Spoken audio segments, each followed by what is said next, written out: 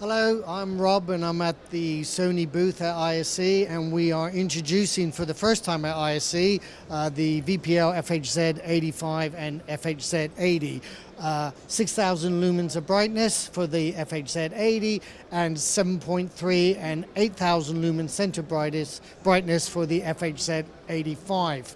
Um, one of the great features we have in this, uh, these projectors is that we have intelligent setting that not only monitors the usage of the projector to keep it um, the brightness for longer and the color accuracy for longer, but we are now have a little light sensor that actually uh, monitors the environment. So if the environment is very light, then the, the projector increases the brightness. If it gets a little um, dark, it then can reduce the brightness. But the key reason to do this within our projectors is we want to make sure that we can keep this projector running for longer, brighter for longer, and better color accuracy for longer. If you'd like to know more, please visit our Sony Professional website. Thank you.